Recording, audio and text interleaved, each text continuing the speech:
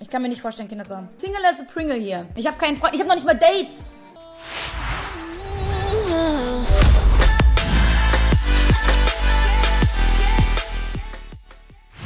Eines der dümmsten Aussagen, die ich kenne. Ich nehme das als Humor. Jemand hat das gerade geschrieben oder auch gelöscht. Heirate Monte, der kann sich das leisten oder der kann dir das dann holen. So, pass auf. Abgesehen jetzt mal von, es geht jetzt gar nicht um Marcel. Niemals will ich auf der Tasche von einem Typen sitzen. Erstens könnte ich das nicht genießen, das Zeug, das Geld auszugeben und mir schöne Sachen zu kaufen. Und zum anderen würde ich sagen, das süßeste Geld, das schönste Geld, das du ausgeben kannst, ist dein eigenes. Das hat mir mein Vater beigebracht. Der hat gesagt, du willst was haben, Du hast zwei Hände, du hast einen gesunden Kopf, naja, bei mir pff, halb und zwei Beine.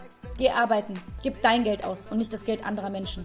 Punkt. Von Sugar Daddy halte ich gar nichts. Absolut gar nichts. So, ey, so dumm. Finde ich auch dumm.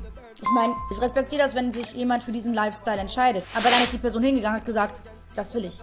Okay, aber für mich, einfach nein, einfach nein, einfach nein. Wer von euch, man sieht euch ja nicht, das ist ja eigentlich fast, an, fast anonym. Hm, würde gerne einen Sugar Daddy haben oder Sugar, Sugar Mami. Dein Papa ist ein weiser Mann. Ja, absolut.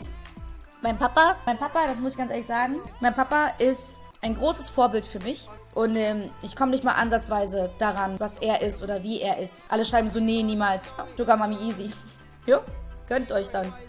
Ähm, aber, und das habe ich bei einem Gespräch erfahren, das ist jetzt schon ein bisschen was her. Da haben wir da zusammengesessen mit ein paar Leuten und irgendwie sind wir auf das Thema gekommen, dass ja Frauen sich einen Partner, einen Lebenspartner suchen oder so ein Schema haben, welchen, zu wem die sich hingezogen fühlen oder welchen Typ Mann, die sich immer anlächeln. Und der soll ja, genau, der richtige Partner, so, der richtige Partner, dem sie, den sich eine Frau äh, holt, mit dem, mit dem man auch heiratet und so Kinder macht, hi, ja, hi, ähm, das ist meistens der, das Abbild vom Papa, von der Frau. Also man, die, eine Tochter heiratet quasi so gesehen seinen, ihren Vater, so, ne? Das hört sich so ekelhaft an. Aber ähm, ihr wisst, was ich meine, ja? Dass quasi der Vater das Vorbild dafür ist, wen man dann später mal heiratet. Dann wurde ich gefragt in der Runde, wie ist denn dein Papa so? und nachdem ich das erklärt habe, wie mein Papa so ist, haben alle Typen gesagt, yo, fuck, du wirst ewig alleine bleiben. Du wirst ewig alleine bleiben. Meinst du, Sag doch sowas nicht. Sag doch sowas nicht. Das kannst du nicht machen. Weil mein Bild oder das Bild von meinem Papa, also was ich habe, anscheinend zu, zu weit weg ist von der heutigen Generation und von, von allen Typen, die es zurzeit so gibt. Und es gibt zu selten Menschen, die so sind. Menschen, die korrekt sind, absolut integri äh, also absolut integer. Mein Vater hat eine Integrität, das habe ich in keinem anderen Menschen bisher gesehen. Also von Menschen, die ich wirklich auch kenne und auch erlebt habe und persönlich auch kenne. Das kann man nämlich nur erfahren, wenn man jemanden auf einen längeren Zeitraum kennt. Und mein Vater ist der ehrlichste, aber auch der ruhigste. Also der hält seinen Mund, der sagt nichts. Der lässt die Leute machen. Der denkt sich seinen Teil, klar. Aber der lässt die Leute machen. Der hat wirklich so von wegen, mach, was du willst. Ich muss es ja nicht machen. Ist mir egal. Mach, der ist ruhig. Aber wenn er seinen Mund aufmacht, um was zu sagen, wow. Wow. Dann kannst du aber erwarten, dass das, dass das, äh, yo, dann ist das nicht ohne. Und dann sagt er das auch knallhart, genauso wie es ist. Ohne Rücksicht auf Verluste, der geht hin und sagt es so unverblümt, dass du am Ende dich in Grund und Boden schämst weil du auch nur ansatzweise irgendwie was an, also gedacht hast oder dich verhalten hast, wie keine Ahnung. Also, ich kann mich auch in der Erziehung damals, aber mein Vater hat selten irgendwas gesagt. Selten. Der musste, damals, mein Papa ist einer, der musste gucken. Der musste mich nur falsch angucken. Ich habe angefangen zu heulen. Ich habe Angst gehabt sofort. Ich habe gesagt, bitte Papa, sei nicht böse. Das ist eine Macht, Alter. So Kontrolle über dein Kind zu haben, Alter. Allein deshalb könnte ich niemals Kinder haben. Ich kann mir nicht vorstellen, Kinder zu haben. Ich habe Kinder gern auf einer bestimmten Distanz. Herr Schrank, es triggert mich irgendwie, dass du deine Kopfhörer nur auf einem Ohr anhast. Sorry. Aber sonst schrei ich noch mal lauter.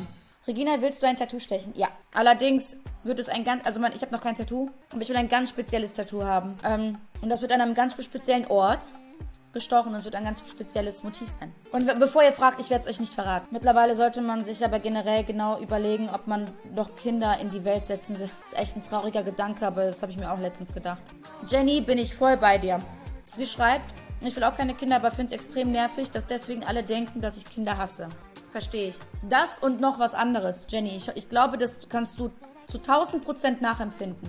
Und zwar, wenn du in einer Runde, vollkommen egal wer, aber es sind meistens die über 20 oder schon mit Mitte 20, Ende 20, Oder ab, ab Mitte 20 sage ich jetzt mal so. Wenn du denen sagst, ich will keine Kinder, mm, das sagst du jetzt. Das kommt noch. Oh, warte erst mal ab, wenn du den richtigen findest. Ach, warte erst mal bis du 30. Warte erst mal ab, bis du Mitte 30 bist. Oh, das denkst du jetzt, glaub mir. Glaub mir, es gibt nichts Besseres. Wenn ich dir sage, ich will keine Kinder, dann will ich in diesem Moment keine Kinder. Und es wird sich höchstwahrscheinlich nicht in den nächsten Jahren ändern, vor allem weil Single as a Pringle hier Abandonment Issues hat. Paranoid ist as fuck. Und bevor sie erstmal ein Kind werfen kann, braucht sie einen Menschen an ihrer Seite, der über Jahre schon an ihrer Seite war und ihr bewiesen hat, dass der kein Arschloch ist, der fremd geht, zum Beispiel, dass er fähig ist für Vaterschaft, nicht, dass er was zeugen kann, sondern dass der auch was macht mit dem, also dass er auch wirklich hilft, wenn das Kind da ist. Und dann könnte man überlegen, ob ich doch vielleicht das Gefühl habe, könnte ich Müttergefühle empfinden. Und das ist noch so weit hin. Ich habe keinen Freund, ich habe noch nicht mal Dates. Und dann kommen die an und sagen mir, wenn du den richtigen findest, ja, wo ist der? Wo ist er? Der ist eingeschlafen auf dem Weg. Ronaldo, da sind wir uns noch nicht über den Weg gelaufen, du ich hätte den richtigen, bin verheiratet und trotzdem ähm, tickt bei mir nicht die innere Uhr. Bin inzwischen 35. Dann ist das so. Mit dir ist nichts falsch, Alter.